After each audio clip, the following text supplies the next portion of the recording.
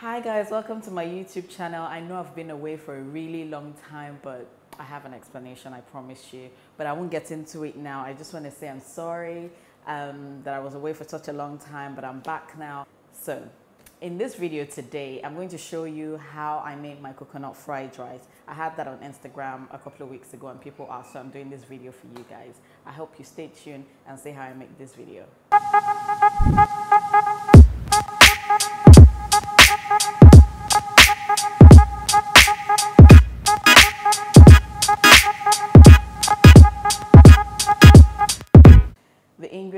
Going to need for this coconut fried rice are some rice, some vegetable oil, some coconut milk and coconut powder.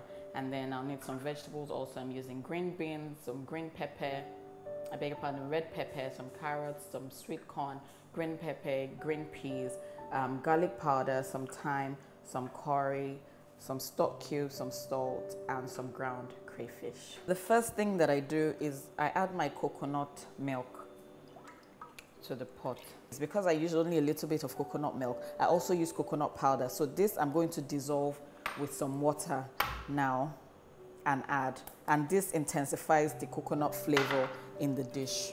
And I'll just add it here.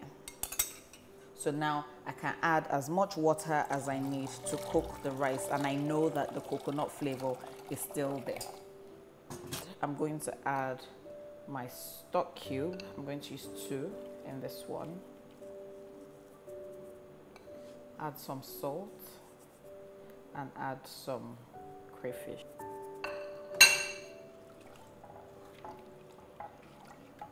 I'll also add a very tiny bit of curry powder because I don't want it to affect the color of the rice. There's a particular color I like for my coconut um, fried rice, so I try not to let the curry overpower the color. So I'll add some garlic powder also and some thyme.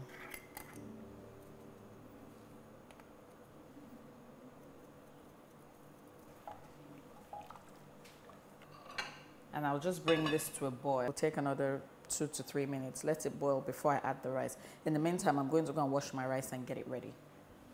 Broth has been boiling now. I'm going to add the rice. And don't worry if you don't have enough liquid. You can always top it up. In fact, that's my preferred method of cooking rice so that my rice doesn't end up soggy. I add only a little water at a time so that I don't end up with soggy rice um, instead of adding it all at once. So I'll let this cook now.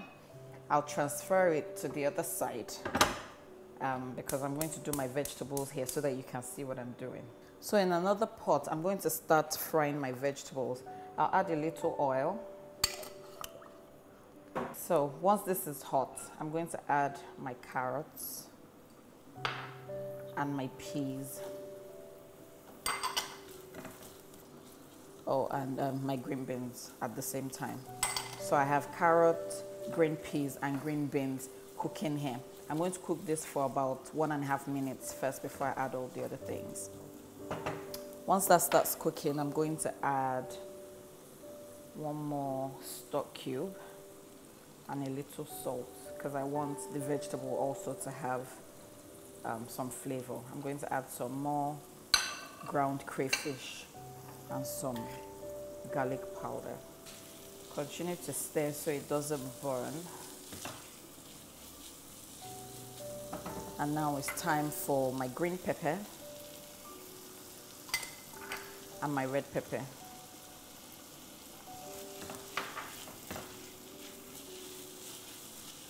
I'll give this one minute and then this is almost ready. So now I'll add my sweet corn. So as you can see my vegetables are ready. They're nicely seasoned. And we'll just wait for the rice to finish cooking so I'll transfer this to the other side and bring my rice back I'll bring my rice back so you can see what I'm doing so I'm going to check on this rice now I think it's dry.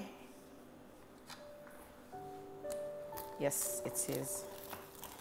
So This is my system of cooking fried rice because I don't like it soggy. I cook my rice and then I add the vegetable. So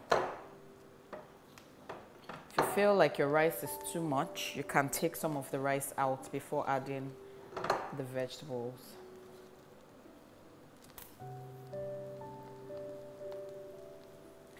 So this is my coconut fried rice.